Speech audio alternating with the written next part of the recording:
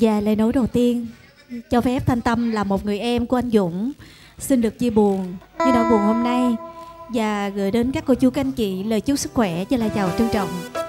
Để à, chia buồn hôm nay thì Thanh Tâm xin mến gửi tặng một bài giọng cổ sáng tác của cố soạn giả nhân dân Diện Châu Thương hoài ngàn năm, xin mời quý vị cùng thưởng thức.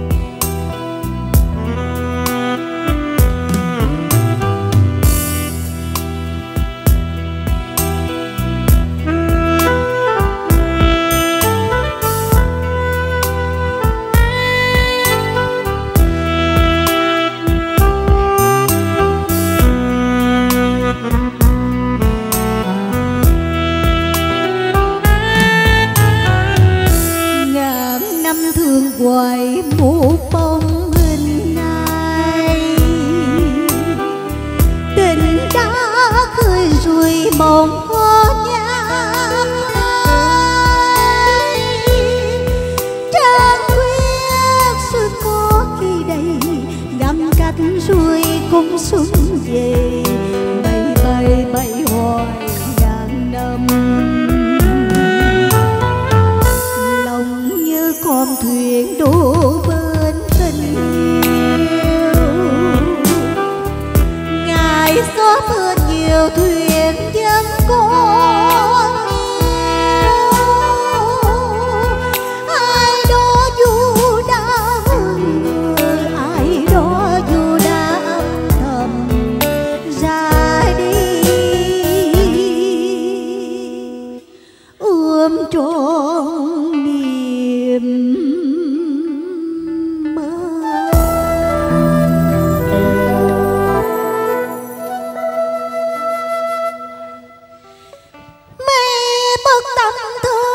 gửi trao ai nơi miền xa, xứ là.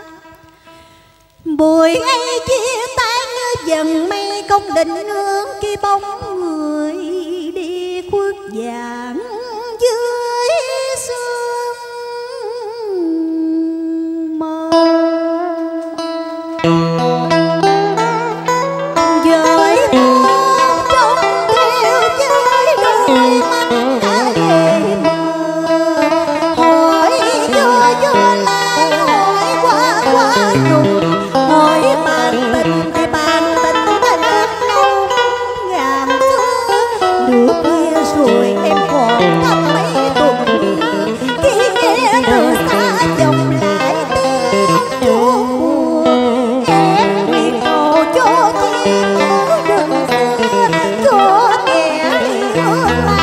thì sống